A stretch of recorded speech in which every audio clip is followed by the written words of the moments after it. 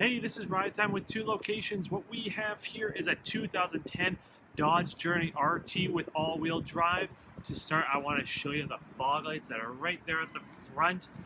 19-inch aluminum alloy wheels on this vehicle. Body is in great shape, and there is a roof rack on the top.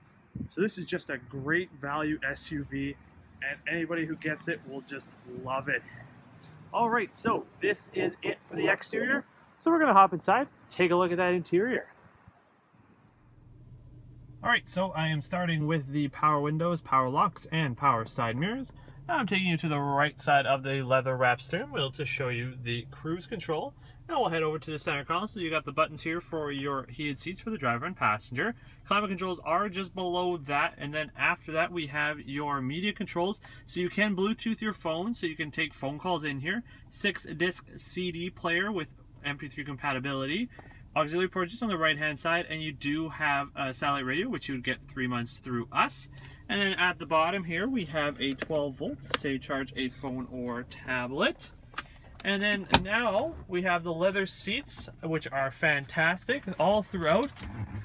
Lots of room for everybody. Overall, it is a nice interior. And just gonna go up here because I wanna show you the universal garage door opener button just right there. All right, so that is it for in here. So we're gonna step out front so I can tell you how you can get a vehicle just like this. Uh, so that is it for our video on our 2010 Dodge Journey RT with all-wheel drive.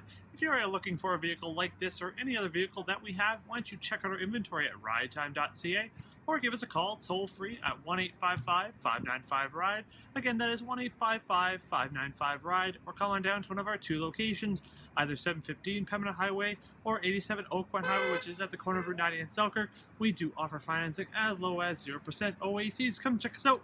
Again, this has been Ride Time, where we're your ticket to ride.